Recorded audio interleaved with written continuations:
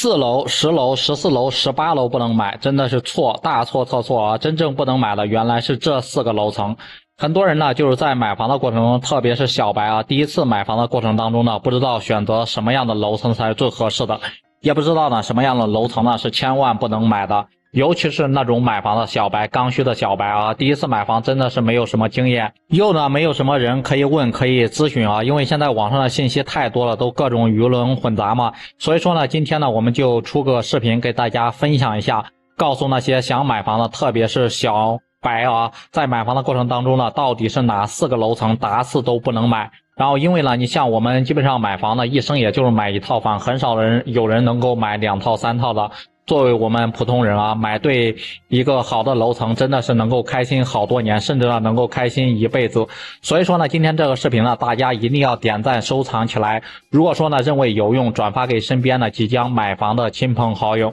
那首先第一个不能买的就是顶楼，千万不能买啊！顶楼这个楼层呢，应该是很多人都是熟悉的，不仅呢会有漏雨的一个风险。然后呢，像那下那种大暴雨，甚至下那个小雨，都有可能会出现漏雨。而且呢，就是冬天呢是特别的冷，特别是像武汉这边，然后夏天呢特别的热，基本上呢天天都是要开空调的啊，一天不在空调屋里面待，在武汉这边，你如果说买了顶楼呀，你根本就是住不下去了，那简直就像一个大蒸笼一样。如果说呢是那种超高层住宅，大家都知道武汉的超高层特别多嘛，动不动就是五十层、六十多层的，那消防救援呢都会是一个大问题。想一想自己买个六十层的一个顶楼，真的是遇到那种电梯的停电要爬楼梯，那真的是只能哭晕在楼道里面。送个外卖呢都是没有人送的，只能在家里。等着饿肚子啊！那第二个楼层就是低楼层不能买，咱跟那个高层住宅形成一个鲜明的对比啊。像买这种低层的，它的那个缺点呢是远远要大于它的优点的。就比如说一层，它的私密性是特别的差，而且呢每天晚上基本上噪音特别的差，根本就睡不着觉。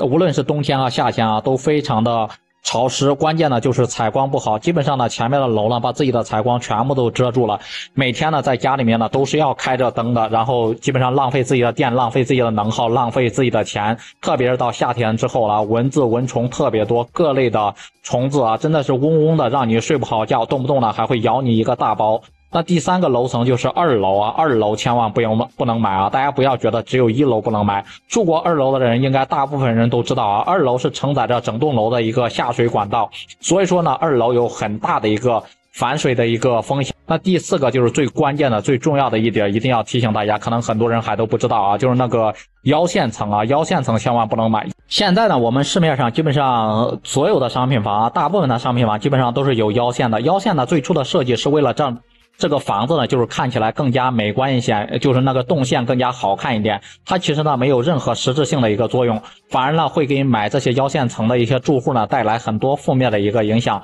就比如说腰线层突出的一个部分会影响咱们的一个采光，屋里面呢天天就是昏昏暗暗的，而且呢还容易积水，包括那种垃圾、各种垃圾、高空的垃圾，包括灰尘都很难打扫啊，打扫一次卫生真的是让人头疼。时间久了之后呢，还特别容易渗透到你的一个室内，真的是让人烦恼不断啊。特别是买了腰线层的一个业主，真的是肠子悔青啊。不知道呢，对此各位朋友你们是怎么看的？如果说你买房，你会选择几层呢？会选择高层还是低层呢？也欢迎在评论区里面留言分享。好了，本期视频呢就为大家拍到这里，我们下期视频再见。